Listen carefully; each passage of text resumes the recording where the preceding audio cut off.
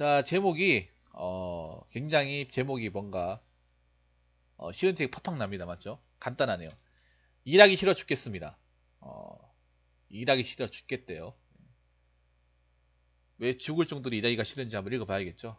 네, 읽어보겠습니다. 일하기 싫어 죽겠습니다. 어, 직군이 야근이 많은 직군입니다. 스스로 사업 디자인해서 성과까지 내는 거라 성취감은 있습니다만 요즘 일하기 싫어서 죽겠습니다. 두 번째 직장인데 첫 번째도 2년 만에 팀장, 박사 수료 경력 포함. 이번엔 전공 아닌 직장 이직인데 2년 만에 팀장입니다. 사람이 계속 유출되는 탓도 크죠. 학창 시절부터 논문이나 포스터도 상수료 받고 어학 장학금도 2주 공부하고 타서 주변 동기들 시기 질투 받을 만큼 이상하게 성과가 하는 만큼 인정돼서 운이 좋다고도 생각합니다. 이제 열심히 하기는 싫고 책임도 지기 싫은데 어떡하죠? 어떻게 극복하죠? 회사가 싫고 사람이 싫고 일이 싫은 게 아니고 그냥 책임지기 싫고 일이 재미가 없어요. 아, 참 어렵네.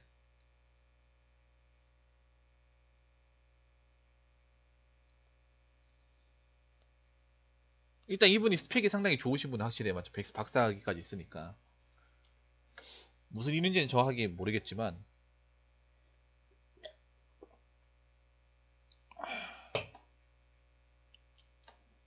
음, 음, 제가 봤을 때는 이분이 스타일이 그런 거야. 약간 쉽게 빠져서 쉽게 질리는 스타일인 것 같아. 그런 느낌이 드네요. 어, 아니면 내가 봤을 때는 그거야. 이분의 증상은 증상은 번아웃 증후군. 자, 번아웃 증후군이 뭔지 아시죠? 일을 존나 열심히 해가지고 일을 정말 진짜 내 몸을 태울 정도로 완전히 태워버리. 그러니까 번아웃이 수거거든요. 완전히 태워버린다. 사람이 녹초가 되다. 어, 사람이 방전이 되다 이런 거거든요. 사람이 너무 초반에 너무 일을 열심히 하다 보니까 방전이 돼가지고 이제는 일에 대해서 뭐 어, 그 어떤 어떤 기쁨이나 즐거움도 못 찾는 거예요. 그래서 일 자체가 꼴보기 싫은 거죠. 제가 봤을 때는 님 사연을 봤을 때는 전형적인 번아웃 증후군의 현상이 아닌가 그렇게 생각합니다. 우리나라 직장에서 흔히 볼 수 있는 광경 중에 하나예요. 왜냐 우리나라 직장에 가면 사람들 무조건 열심히 하라고 하잖아. 그러니까 다 열심히 하잖아요. 근데 그분 그 가운데서도 일에 진짜 완전 중독 이 사람은 진짜 일에 일이 재밌나라는 생각이 들 정도 열심히 하는 사람도 있잖아요. 맞죠? 근데 그런 분들이 어느 순간 가버리면 일을 쳐다보기도 싫어져요. 음.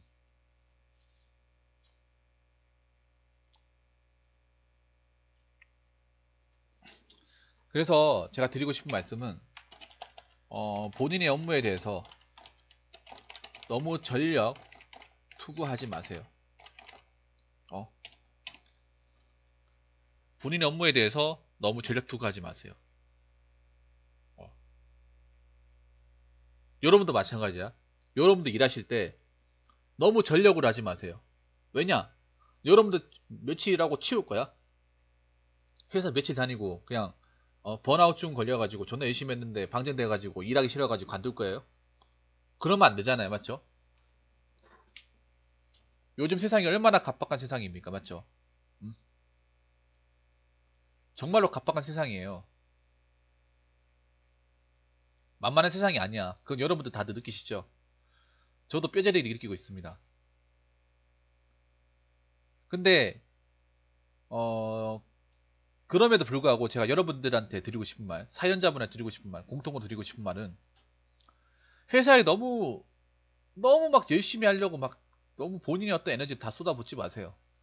여러분 아시잖아요. 회사에 그렇게 쏟아붓는다고 해서 내가 알아주는 거 아무것도 없어. 괜히 다치면 욕만 얻어먹어요. 맞죠? 네네, 올드게이머님 말씀하세요. 아, 쓰세요, 쓰세요. 올드게이머님 다 해드릴게. 다 해드리고, 나 2월 28일날 18만원 돈에 미션 갈 거예요. 네. 네, 18만원 돈에 미션 갈 겁니다. 예. 네, 쓸 수 있는데도 마음껏 써주세요. 마음껏. 원 없이 써주세요. 원 없이.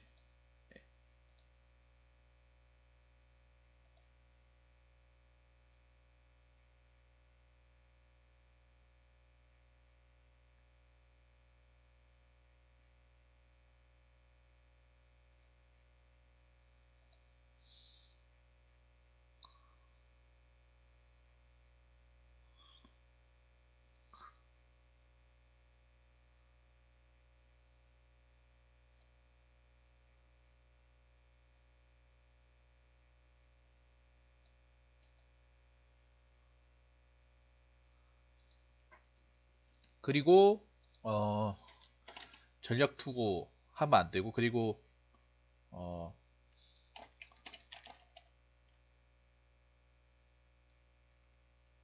일을 너무 적당히 열심히 어? 적당히 열심히 하나 열심히 하고 적당히 책임지세요. 어 이런 분들이 자기 일하면 막 전적으로 책임지고 하려고 보니까 거기에 에너지를 너무 많이 쏟아부어. 맞죠? 그러다 보니까 근데 이렇게 한다고 해서 님이 만약에 뭐 이렇게 내가 열심히 한다고 해서 알아주면 모르겠는데 오히려 호구같이 보이잖아요. 맞죠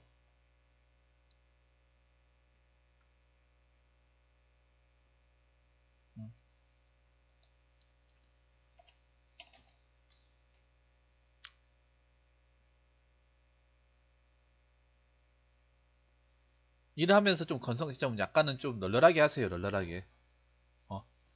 적당히 내 실리를 챙기라는 거죠. 그렇게 하셔도 된다는 거예요 일하실 때. 어? 일하면서 내가 챙겨 먹을 거 챙겨 먹으라는 거예요. 김동희도 마찬가지야. 일하면서 졸잖아요. 그럼 중간중간에 점심시간에 자라는 거예요 그냥. 어? 주무세요. 아니면 베개 같은 거 가져와가지고 혹시 휴게실에 뭐 누울 때 있습니까? 아니면 차에서 좀 자도 돼요. 김동님 차에서. 어? 그렇게 자도 돼요. 사람이 챙겨 먹을 거 챙겨 먹어야 돼. 그게 진짜 중요해요. 김동희도 마찬가지고 회사 다니신 분도 마찬가지야.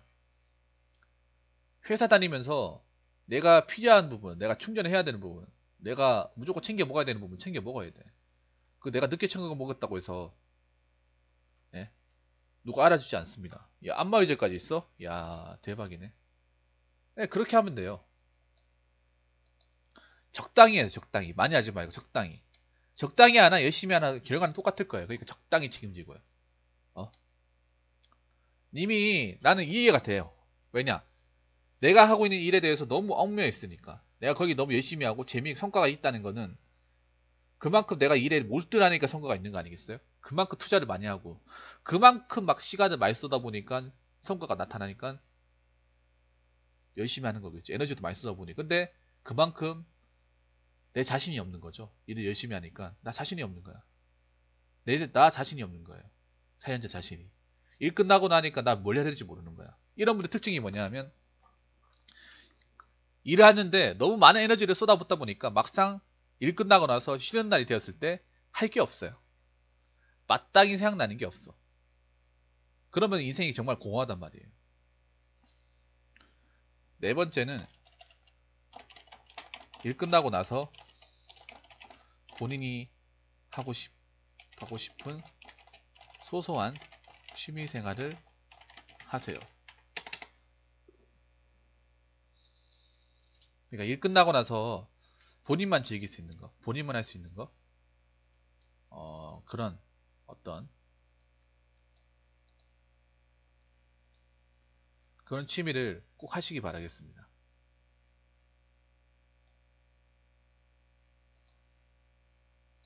그래서 꼭 챙겨 먹으시길 바랄게요.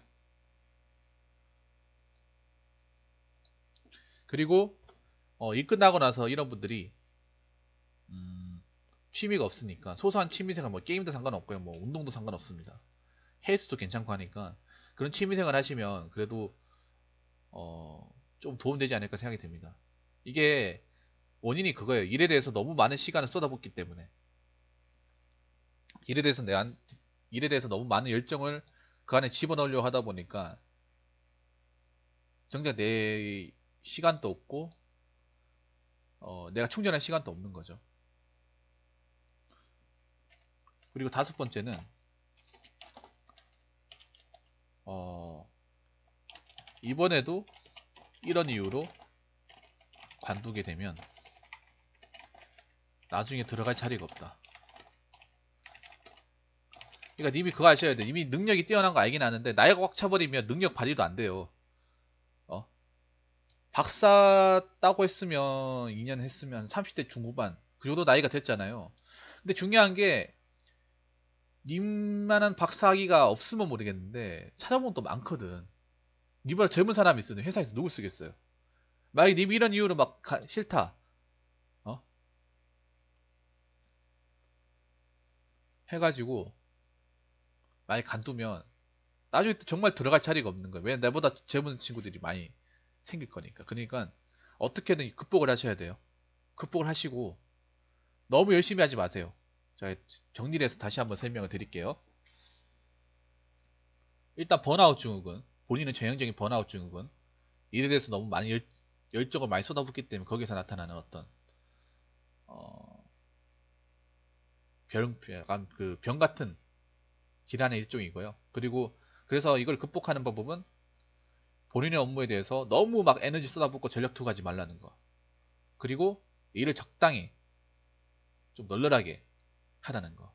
니도 생각해봐요. 일을 적당히 하려면 할 수도 있잖아. 어? 그리고 야근이 많긴 하지만 분명히 퇴근 시간이 있단 말이에요. 그러면서 일 끝나고 나면 본인이 하고 싶은 거 생각해놨다가 집에 가서 소소하게 즐겨보시는 거 어떨까 생각이 됩니다. 그리고 혹시라도 이런 이유 때문에 일을 간두게 되면 이제 나이가 본인도 적지 않잖아요. 맞죠? 그럼 나중에 정말 들어갈 자리가 없는 거예요. 박사학위라도 아무리 박사학위라고 하더라도 나이가 많으면 안 써주거든요. 기업에서는. 맞죠? 그렇기 때문에 어떻게든 이번 현재의 어떤 그 어, 공경을 극복하시기 바라겠습니다. 자, 그리고 마지막에 하나 더. 일하기 싫은 건 대한민국 국민 전부다. 대한민국 국민 공통이다. 어.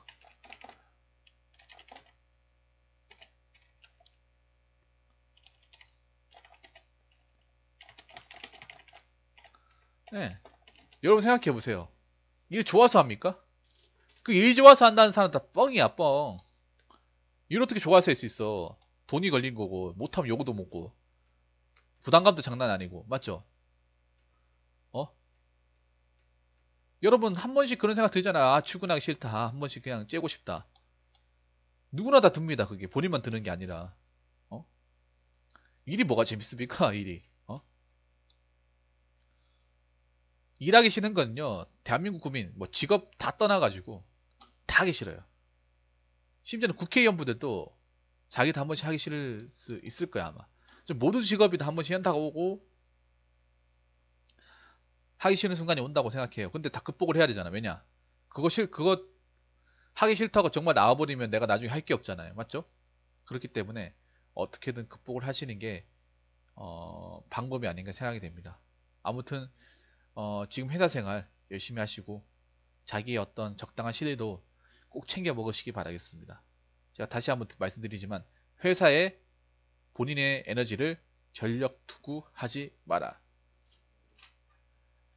자, 이상으로 고민 사연 마치도록 하겠습니다.